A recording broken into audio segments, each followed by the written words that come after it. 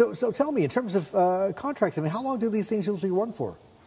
An elevator usually, uh, when you install them, runs for about 20 years, and after that you need to modernize them. Right. And I mean, your service contracts, though.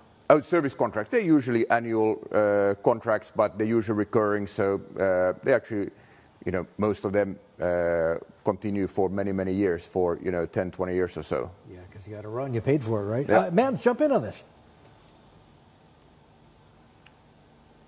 Yeah, absolutely. Henrik, um, you were talking about how increasingly your focus is on the services side, you know, maintaining and modernizing. But in terms of putting in new escalators, in, in new elevators, I mean, obviously, escalators and elevators go into things like shopping malls and big, tall commercial buildings where we used to go and, uh, and, and work for the day.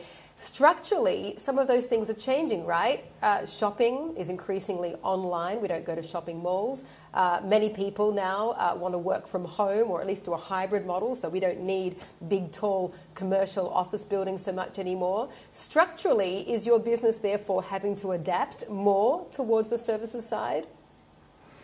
Well, service has always been a very important part of the business. But I would say, to your point, it's actually a very large proportion of elevators that are being installed go to residential buildings.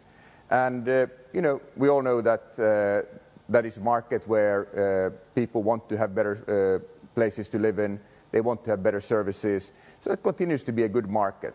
But also, if we look at the commercial building side, you know, a very interesting trend we see everywhere is that most employers want to attract people back to the office. And to do that, you need to have an attractive office.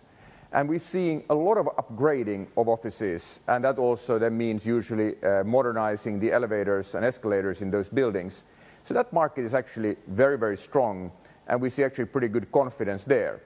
Uh, but it's clear that in an environment like this, uh, we are focusing much more on growth in servicing elevators and escalators, and there we continue to have industry-leading growth rate uh, for many years in a row and, and continue to drive that.